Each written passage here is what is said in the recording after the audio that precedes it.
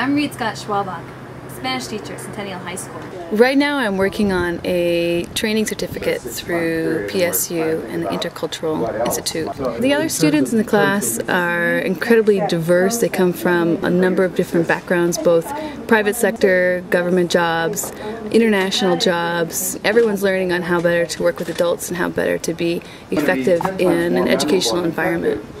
One of the things about a Fulbright or any sort of international experience is that you think you're going to learn one thing and you end up with sometimes a completely different outcome. So I went down to Mexico and I was excited to learn about Mexican culture.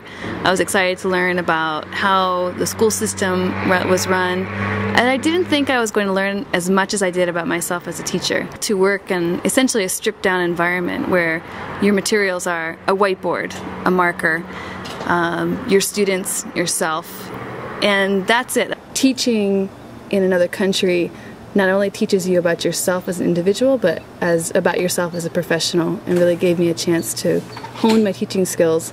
And the other teachers who were in Mexico from the United States have become colleagues and professional resources and friends, and that will be a relationship that is lifelong. I'm the OEA, and I'm about lifelong learning.